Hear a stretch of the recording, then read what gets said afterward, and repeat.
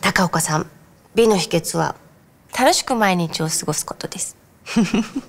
本当なのよ。でも、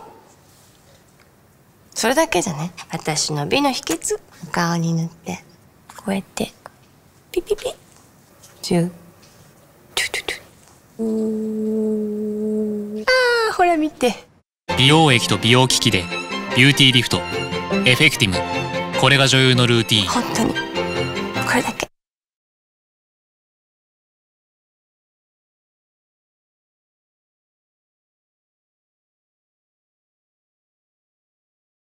とても和やかにあの撮影していたように思えるでしょうが、えー緊張してましたよ。でもとてもそのやはりこういうあの美にまつわる、えー CM に出させてもらうっていうのはやはりその何でしょう私自身もそういう意識でいないといけないので本当にあのある意味とても緊張はしていました。ただあ特にその絶対的な決め事があるっていうわけでもなくとても私を、えーフューチャーしてくれるというかそういうような形で、えー進んでいったのでさっき緊張していましたって言いましたけれどもリラックスもしていました。とにかくあの楽しかったです。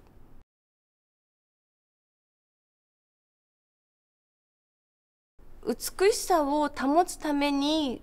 こういうことをしているっていうことではなく、えー私自身が、えー毎日を楽しく過ごすどれだけ、えー笑っていることが多い毎日を増やすかっていうことによって、えー結果、えー美しくなっていけたらいいなっていうふうに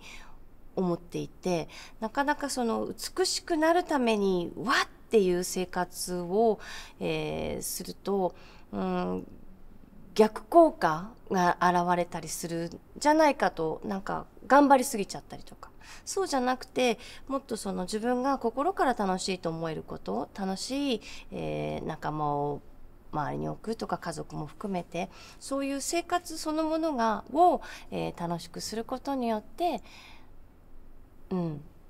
いわゆるあえて言うなら美を保つことになれたらいいなと思ってます。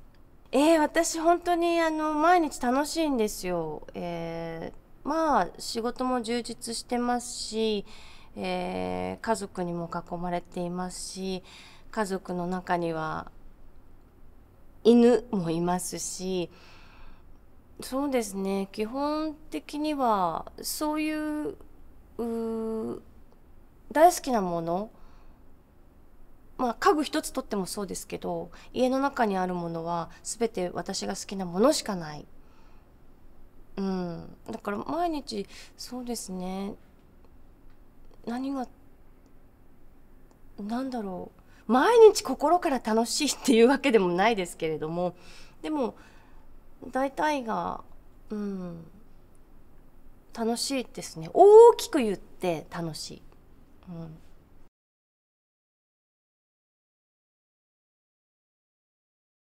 私もまだまだあの模索中でして、えーあの本当に憧れてくださってる方には本当にあの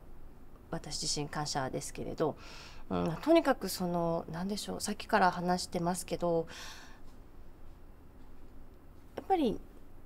悩みって少ない方がいいと思うしうんどうしたら自分がうん楽しく毎日を過ごせるのかなっ毎日というかどうしたら楽しく過ごしていけるんだろうっていうことは常に私考えていて、うん、とにかく前向きになんか明るく物事を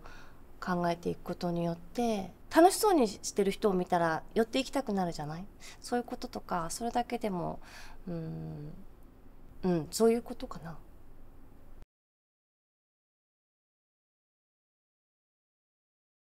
来月で49歳になりますが、えー時間としては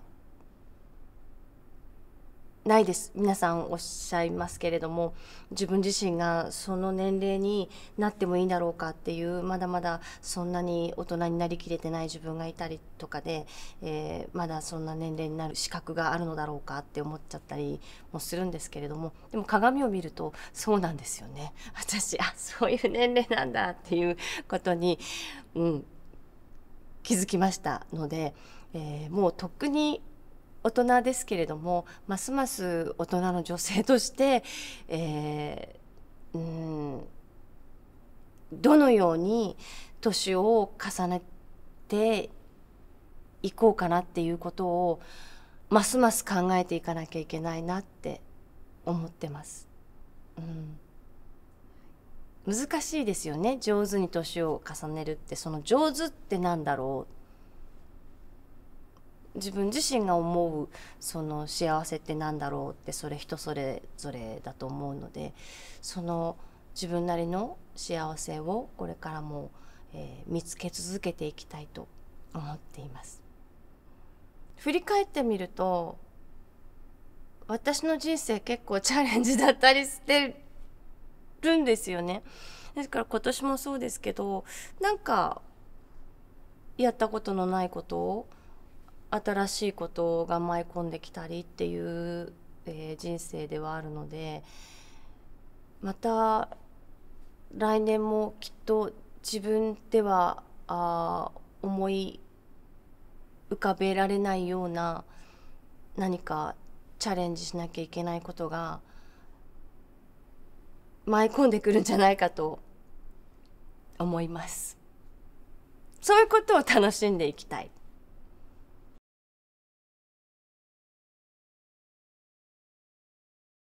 本当に今年もあ去年もそうですけれども結局こういうコロナのあの中で、えー、生活してそのなんだろう窮屈な面もたくさんあったけれどもけれども逆にその家庭の中が愛で溢れてたなっていうふうに思ってますので愛これは愛です。